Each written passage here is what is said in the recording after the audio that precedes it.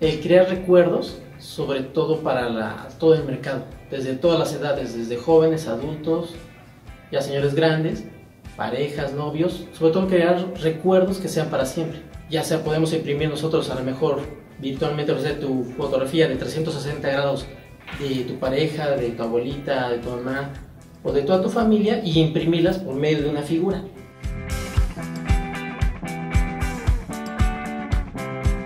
Tuvimos que empezar de cero, desde estudiar un poco de lo que son programas, exactamente cómo manejar la impresora, desde el hecho de armarla, comprarla porque te vienen las impresoras pero desarmadas, entonces tú tienes que armarla desde cero. Después aprender a utilizarla, calibrarla, comprar el tipo de material exacto, en el cual nosotros por medio de imprimir, ¿qué hacemos? Compramos material pero es este, biodegradable. Es material que se llama PLA, que está formado por medio de maíz y por medio de trigo o por medio de la caña.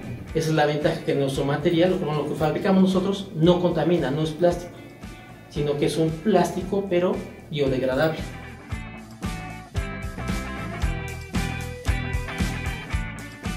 Mm, hablemos de otros productos, a lo mejor una figura de estas, a lo mejor en el mercado te costaría unos 800 pesos. Con nosotros te costaría lo que son 290 pesos. Una lámpara de recuerdo de litofania que muchos son fanáticos y aparte es una lámpara para tu recámara o en tu librero o en tu escritorio y hablamos, por ejemplo, en este, en este costo, pues estaríamos platicando que nos costaría unos 280 pesos.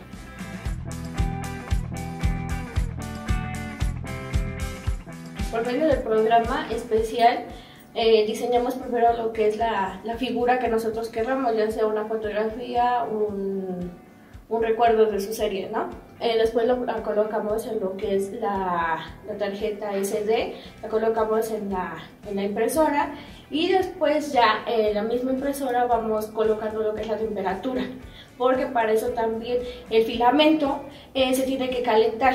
El, el, calentamiento va, va variando de acuerdo a la figura y el tamaño de la figura que nosotros queramos y esa mismo, el mismo filamento va este, tejiendo, más que nada va tejiendo lo que es, tejiendo y darle la forma a la figura.